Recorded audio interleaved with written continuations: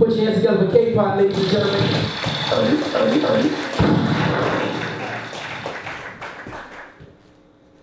How's everybody doing? This piece is called Tell a Lie Vision. Stop telling lies to my vision. Stop telling lies to my vision with those ultra violent rays of tell I vision. That's subliminal religion, using precision to slice through the mind.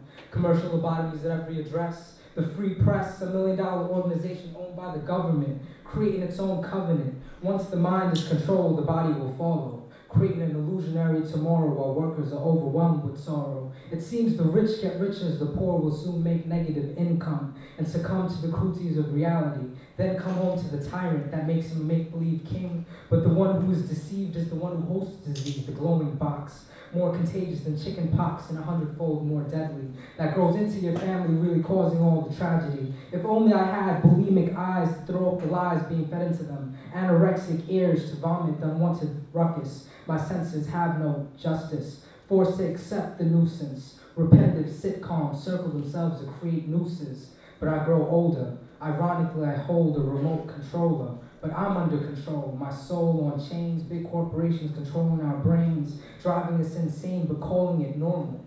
Madness becomes formal, but the TV addicts still stay loyal, ignoring the inner turmoil to watch another's actors pretending to be brothers or lovers, playing out love and other emotions that rubs on the viewers like lotion and gets absorbed. Its jaws decapitating the greatest of minds that get bored. Become a slave to channel surfing with subliminal messages on different wavelengths that break sense to something uncommon, speaking truths in the mouths of liars, igniting mental forest fires that burn the trees of knowledge to its roots, desecrating the soils of creativity to suit TV the deadliest contraband, turning lush mental Amazons into barren desert wastelands. Thank you.